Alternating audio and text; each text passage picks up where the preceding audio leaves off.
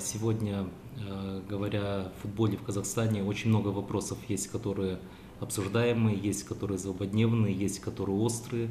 При этом э, нельзя не отметить, что есть определенные достижения, есть э, результаты в профессиональном футболе, есть результаты на международной авансцене. Вы знаете, в этом году состоялся впервые конгресс УЕФА, который был в Астане. Первой приоритетной задачей, которую я хотел бы обозначить для себя, это подготовка и разработка э, полноценной стратегии развития футбола, подкрепленной дорожной картой, то есть конкретными шагами, которые мы хотим э, достичь э, поставленных результатов.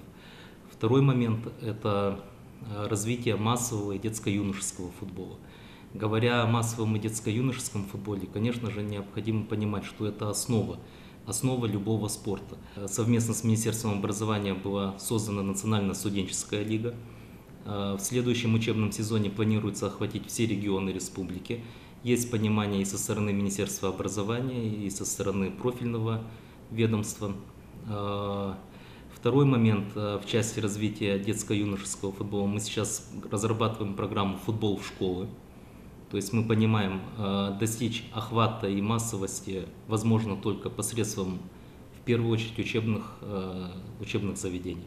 Э, одна из задач, которую я ставлю перед собой и перед командой Федерации, это проведение Суперкубка УЕФА. А сейчас уже переговоры начаты по времени, по году, то есть это точно в ближайшие, ближайшие, ближайшие годы но 16 год у нас уже занят, поэтому, соответственно, после 16 года, это может быть 17, 18, 19 годы. На сегодняшний день достигнуты договоренности с УЕФА и ФИФА о совместном финансировании строительства Академии футбола в городе Астана.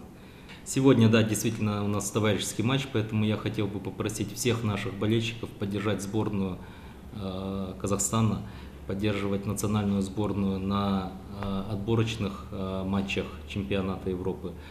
Э, и одновременно хотел бы сказать, что сейчас вот мы уже прорабатывали, практически проработали вопрос о том, чтобы отборочные матчи и чемпионат Европы транслировались на, транслировался на отечественном телеканале в режиме онлайн.